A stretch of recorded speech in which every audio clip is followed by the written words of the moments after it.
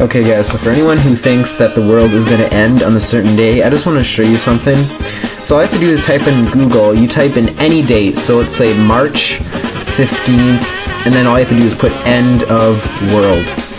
And the first link that comes up is um, end of the world, March 15th, gasp, question mark, exclamation mark. Okay, let's type in March 16th, end of world.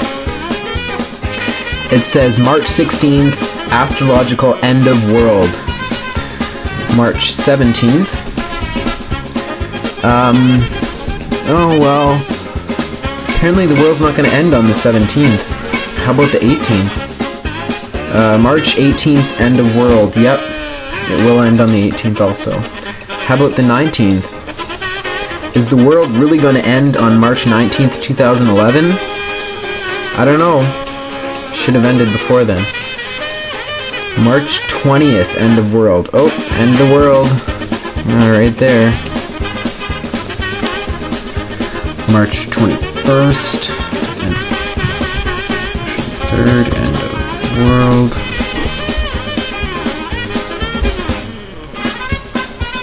Oh, Forsaken World. March 24th, end of world. World will end on March 24th, 2011. Guys, I don't know.